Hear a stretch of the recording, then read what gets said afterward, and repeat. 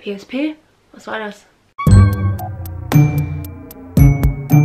Hey ho und herzlich willkommen zurück zu meinem Kanal. Ich bin eure Windfischi und heute möchte ich mit euch über die Playstation Portable reden. Kurz die PSP.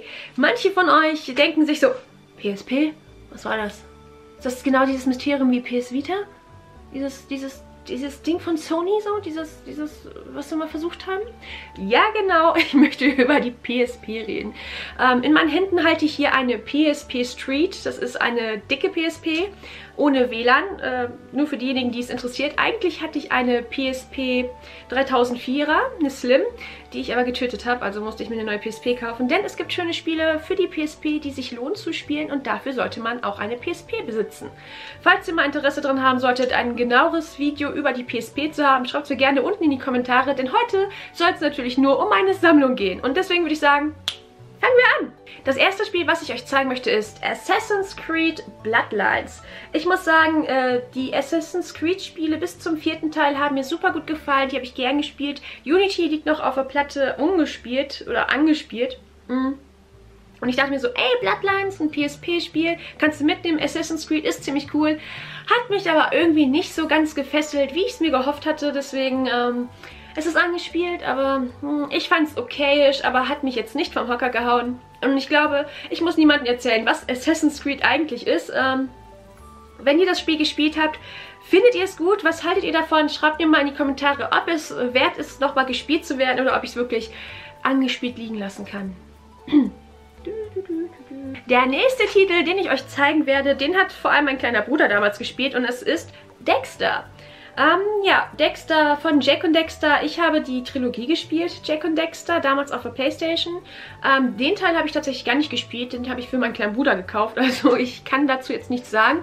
Ähm, scheint aber so ein typisches Jump'n'Run zu sein. Ähm, ja, Dexter, wie gesagt, ich kann dazu nicht viel sagen. Natürlich ist es in meiner Sammlung, aber ich mochte Jack und Dexter, sagen wir es mal so. Vor allem den zweiten Teil, der war bockschwer. Oder war es auch der dritte Teil, der so schwer war? Auf jeden Fall habe ich mir an einem Teil echt die Zähne ausgebissen, aber ich fand es so gut.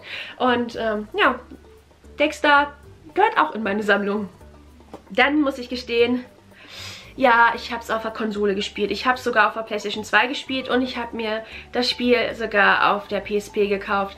Heutzutage denke ich mir so, wieso hast du es nicht auf dem PC gespielt? Sims 2 Haustiere. Ja, good old Sims. Ähm, ja, ne, Sims waren früher mal größer. Ähm, und ich dachte mir so, ne, so, wann kam das Spiel raus? Lasst mich lügen, was steht hier? Ähm, 2006. Ja, so vor zwölf Jahren. Hey, cool!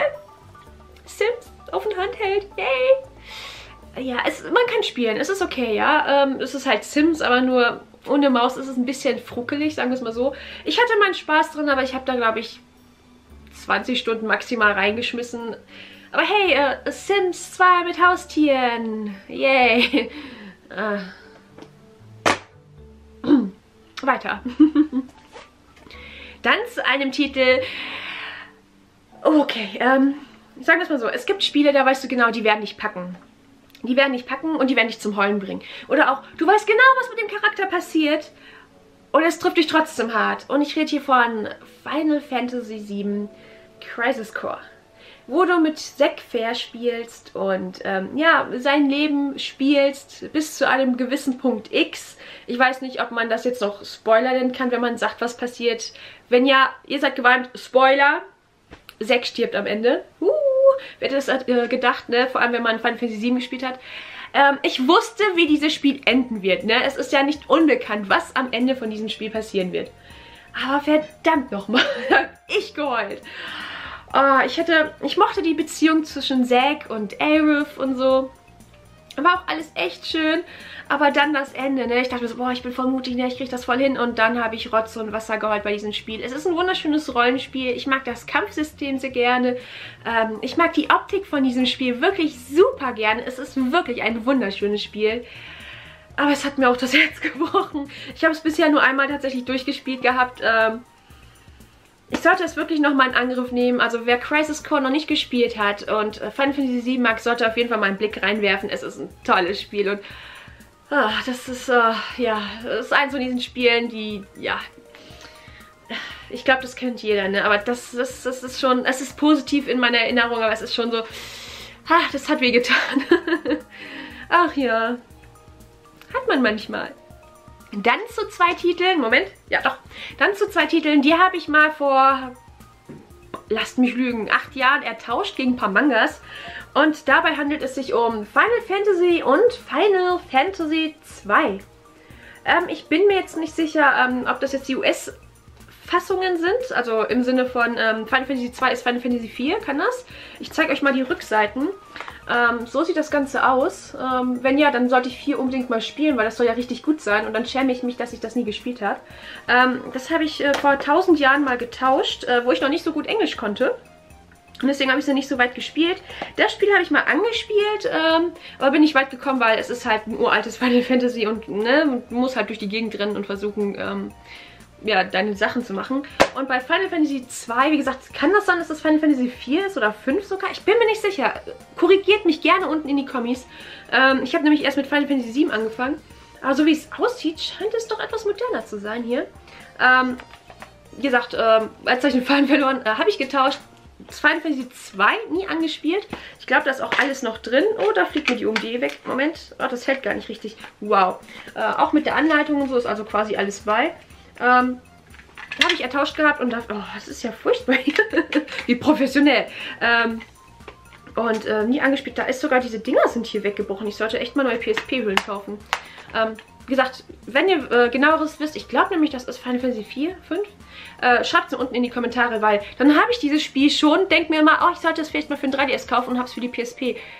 Dann, dann ist das echt peinlich. Okay, wir gehen weiter zum nächsten Spiel.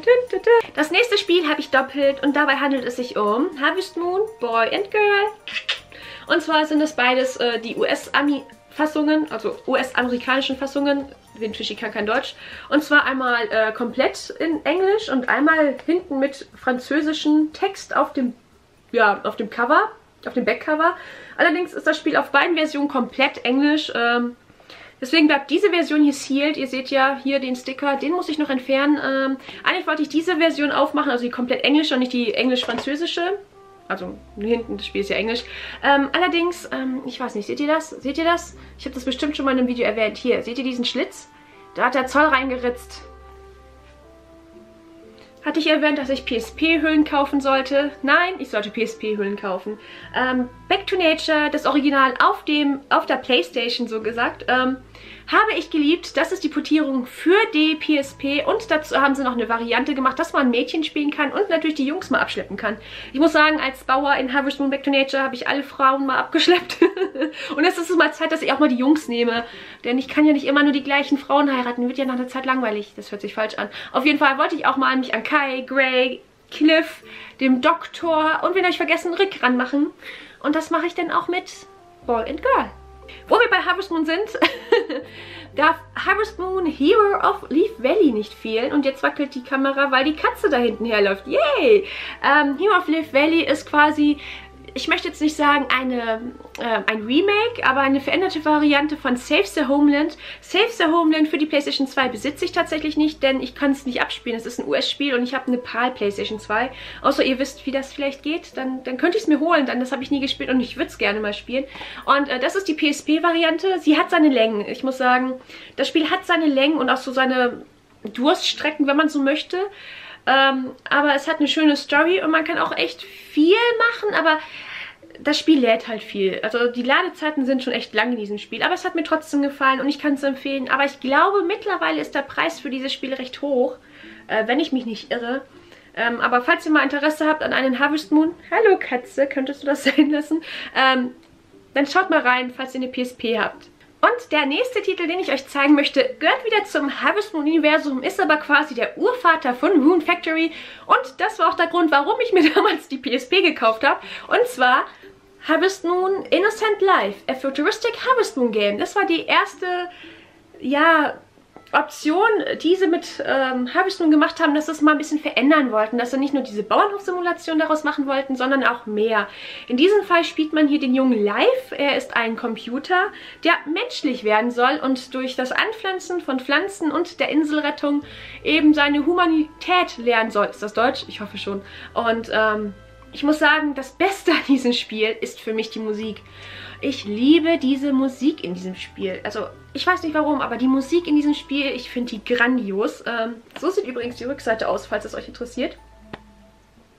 Für mich war das wirklich der Grund, warum ich die PSP haben wollte. Wegen Harvest Moon. Ja, manchmal äh, kaufe ich ein Spiel oder eine Konsole nur, weil es einen bestimmten Titel darauf gibt, den ich spielen möchte. Und ja, Harvest Moon Innocent Life war für mich auf jeden Fall der Titel.